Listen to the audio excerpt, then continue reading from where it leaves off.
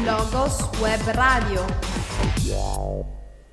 Ciao ragazzi, eccoci di nuovo a parlare di volontariato giovanile all'estero, ma questa volta avremo la diretta testimonianza di una volontaria. Il suo nome è Francesca Sandrolini, ha 24 anni, è di Calderino ed è laureata in antropologia culturale. Nel 2004, ancora studentessa, è partita per il Ruanda con l'associazione Amici dei Popoli per un progetto della durata di un mese. È ripartita poi nel 2007, questa volta da sola, per un'esperienza in India di 25 giorni e una volta arrivata a Calcutta si è registrata come volontaria presso le suore di Madre Teresa, due realtà completamente diverse che l'hanno arricchita sotto vari aspetti e che le hanno fatto capire molto anche della società in cui viviamo, oltre che di se stessa. Ma andiamola a conoscere.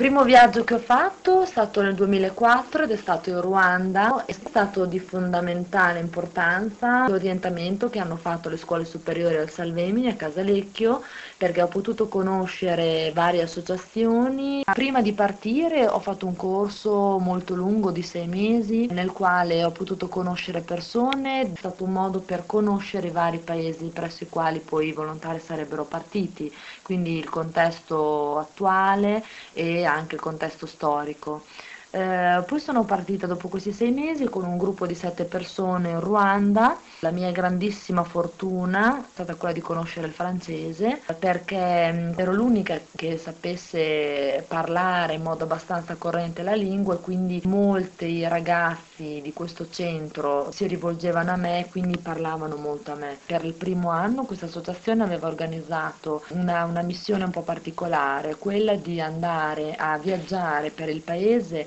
quindi io ero nella capitale Kigali, ho viaggiato verso il confine con il lago Kivu che è nella Repubblica Democratica del Congo, verso il Burundi e verso l'Uganda e ho potuto fare delle varie interviste a piccole associazioni mh, informali, ovviamente associazioni di, di cittadini che mh, si stavano creando in Ruanda. Io sono stata nel 2004, quindi era l'anno del decennale del genocidio quindi un, un, anno un po' particolare nel quale proprio varie iniziative di pace, iniziative di associazionismo tra gruppi di persone, specialmente gruppi di donne, era abbastanza attiva. Quindi io cercavo di fare insieme ovviamente a tutto il resto del gruppo delle interviste, del raccogliere informazioni e fare una sorta di, di, di diario di campo, di conoscenza del contesto culturale e sociale per cercare di capire come sarebbe stato possibile se sarebbe stato possibile fare, organizzare una piccola cooperazione.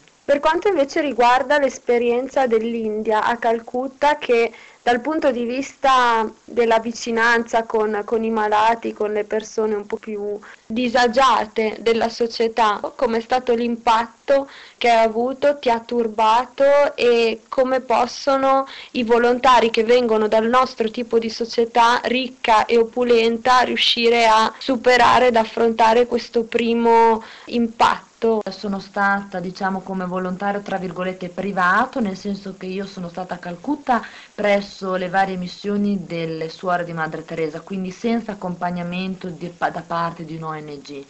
L'impatto è stato molto molto forte mh, mm, sia visivamente sia fisicamente, nel senso che ero molto a contatto con i malati, non solo bambini ma soprattutto donne, anziani, diciamo qualsiasi parte della società era veramente in situazione, una situazione che in ogni contesto in cui mi trovavo durante i momenti di, di aiuto era, mi verrebbe da dire, disarmante. Sicuramente dovrei specificare una cosa, che io cap- sento molto che l'idea che dà Calcutta è che sia molto più povero, eh, pieno di problemi, di epidemie rispetto al Ruanda Invece sinceramente io ho notato, non, è, non si tratta di parlare di un più o di un meno, cioè delle persone più o meno malate, più o meno disagiate, c'era secondo me quello che nel mio piccolo eh, posso dire è che si parla di una sostanziale differenza di, sia di patologie sia proprio di clima, di, di modo di trattare le, le malattie. In, in India, soprattutto Calcutta,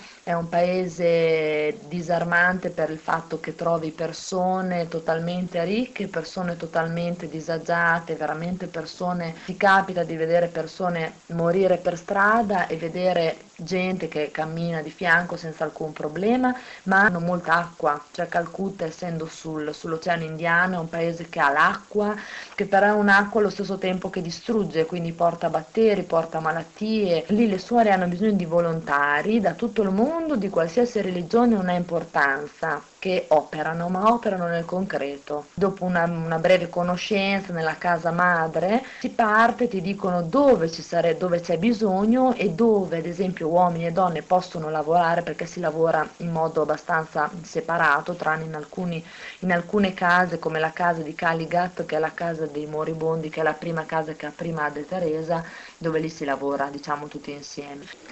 In Ruanda si cerca mm, molto, forse perché c'è una presenza molto più cattolica, salesiana specialmente, si cerca più di fare eh, sostegno eh, di educazione anche a livello sessuale, mentre in, in, India, ad esempio un dato importante, un miliardo e centomila persone, eh, la distribuzione ad esempio di preservativi, comunque di, con, di contraccettivi, eh, era circa di 200.000 o, o mi pare 500.000, quindi comunque molto molto ridotta, quindi ho riscontrato proprio due contesti sociali totalmente diversi anche sotto questo aspetto. I volontari come possono reagire, come possono mh, trovare mh, insomma un sostegno, sinceramente io credo che il sostegno si trovi sicuramente conoscendo i volontari degli altri paesi, gli altri ragazzi con cui si parte, le altre persone, perché mh, il, il, vivere insieme un'esperienza anche con persone che non hai mai conosciuto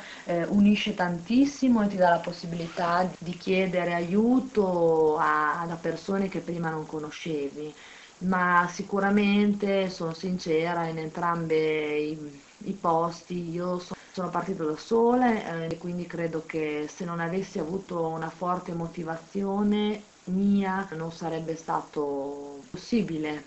Tornando qui e parlandone con i tuoi amici, conoscendi, avendo modo di parlarne anche con persone sconosciute, vedi che qui da noi in generale ci sia un interesse verso questi temi? Quando sono tornata qua ho sempre avuto, soprattutto all'interno della mia cerchia di amici più stretti e di parenti, un forte interesse nel fare domande per cercare di capire. Io credo che assolutamente si sia mosso qualcosa, ma già da anni e fortunatamente vedo soprattutto soprattutto nel contesto bolognese che ci sono tantissime iniziative sia per fare conoscere e promuovere i campi di volontariato o in generale il volontariato all'estero e in Italia, mh, anche i momenti di riflessione e di promozione.